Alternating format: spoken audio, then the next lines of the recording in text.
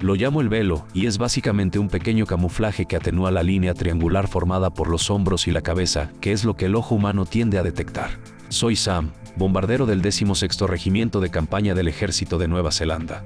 Soy controlador de ataque terrestre conjunto y este es mi equipo para una patrulla de tres días.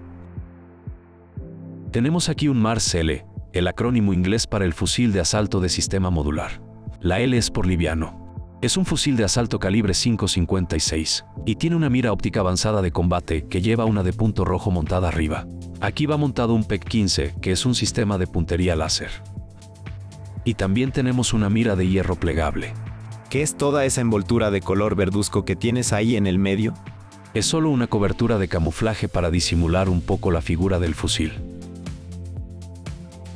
Esta cobertura es especialmente útil cuando operas en una zona de gran proximidad con el enemigo.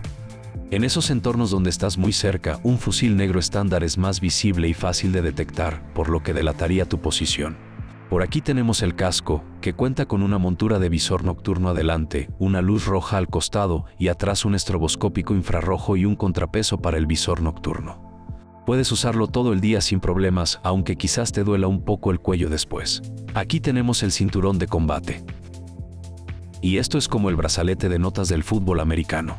Aquí puedo consultar información y anotaciones continuamente. En este brazalete tengo información sobre apoyo aéreo cercano y cosas como esas. Por un lado puedo consultar información, pero por otra parte puedo hacer mis propias anotaciones sobre la marcha sin necesidad de sacar un cuaderno de mi mochila. Aquí tenemos un cuchillo de combate cavar.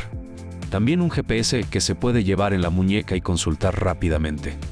Luego está el botiquín individual de primeros auxilios, o sea que todo lo que hay aquí es solo para mí.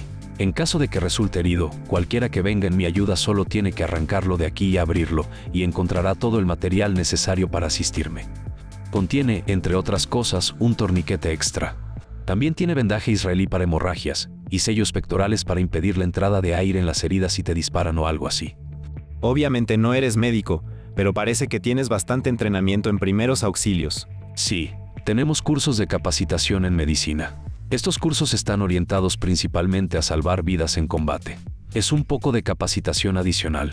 O sea, medicina para combate. Correcto. Simplemente es un poco más de aprendizaje que puedes agregar a todo tu entrenamiento. Y aquí tenemos el dispositivo de visión nocturna, algo que es conveniente tener a mano en todo momento.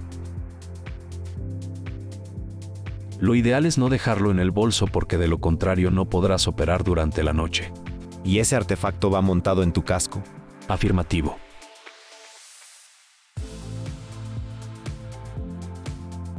Se ajusta de esta manera.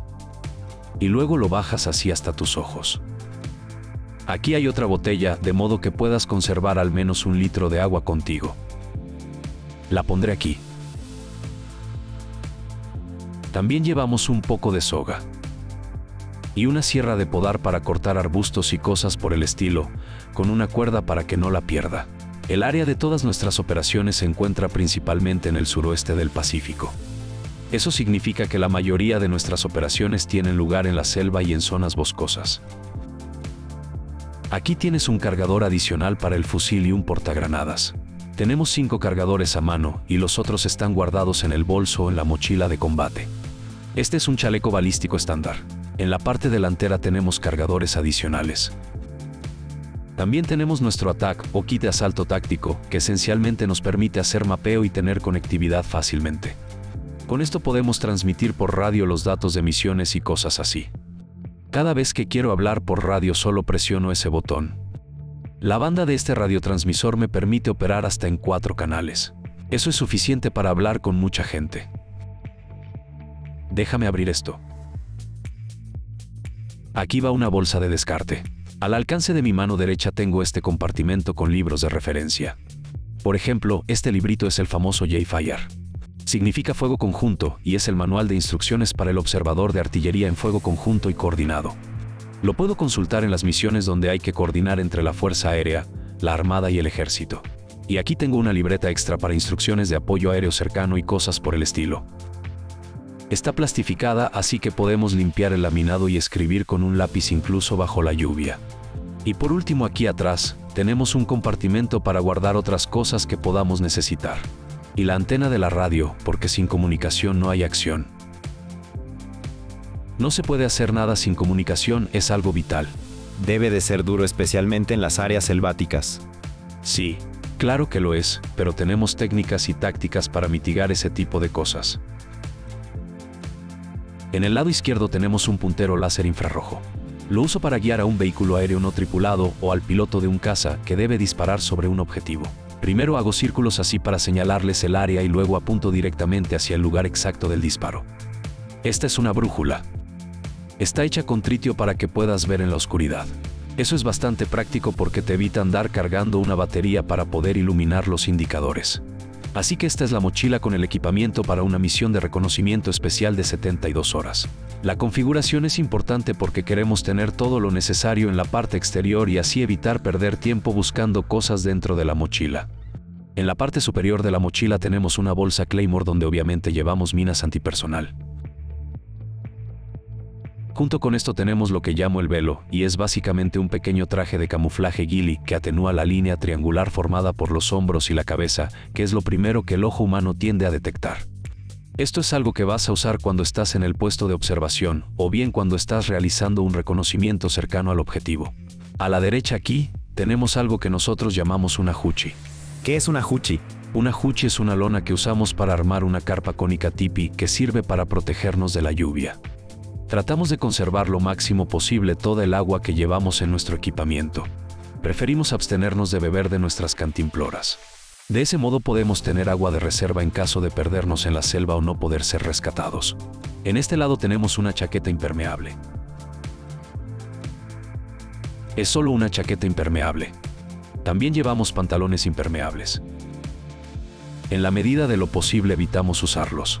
Es una tela que cruje cuando te mueves, y ese ruido puede delatar tu posición. Y aquí en este compartimento tenemos un hornillo Jetboil Flash. Aquí está su garrafa de gas. ¿Para qué sirve eso?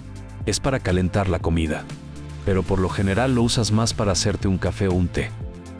Digamos que es un instrumento que te permite mantener la moral alta. Lo encendemos así. La verdad es que en el campo de batalla no hay muchas cosas que te alegren la vida. En el frente de la mochila llevamos nuestras raciones de comida de combate. Lo que solemos hacer para ser organizados es básicamente dividir todo esto en tres grupos. Una de las bolsas tiene todos los alimentos que contienen carne. Hay otra para las golosinas y cosas por el estilo que llamamos krogin. Y también tenemos otra para la basura, porque no podemos dejar ningún rastro de nuestra presencia al retirarnos. ¿Qué significa scrogging? Es algo muy nuestro.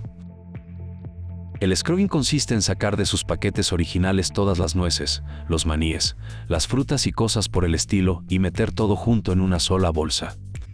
El objetivo de esto es reducir la basura. Es más fácil así en vez de estar abriendo un nuevo paquete cada vez que quieres algo. Muchas gracias por la explicación, pero todavía no me queda claro por qué es tan importante que rindas cuentas por la basura que dejas en el terreno. No podemos dejar ninguna señal de que estuvimos ahí. Cualquier residuo que dejemos le puede advertir ya sea al enemigo o a los rastreadores de que algo está pasando y quién está operando en la zona. Aquí tenemos una colchoneta térmica. Cuando estamos en una operación la usamos para sentarnos detrás de la mochila de esta manera y así podemos tener acceso a todo lo que hay adentro. O sea que es como un cojín. Sí, evita que se te enfríe el trasero. Son recortes unidos con cintas de pegar para que se pueda plegar mejor. Arriba de la mochila va un bolso de emergencia que está aquí precisamente para que sea fácil extraerlo. Este bolso contiene todo el equipo crítico y esencial que necesitas durante una misión. Es decir, que aquí llevas tu equipo de radio, o mejor dicho, todo tu material de comunicación segura, así como todos los ópticos y demás instrumentos que no quieres que caigan en manos enemigas. Está pensada para tener todo el material crítico a mano en caso de tener que huir o escapar sin andar cargando una mochila enorme. Está en la parte superior y puedes ver en el exterior estas correas que te facilitan agarrarla y jalarla de este modo. Podemos ver que dentro de este bolso está todo el material esencial para una misión, como el instrumental óptico por ejemplo. Tenemos visores térmicos para la noche y otros para el día. Este es un binocular con sistema infrarrojo.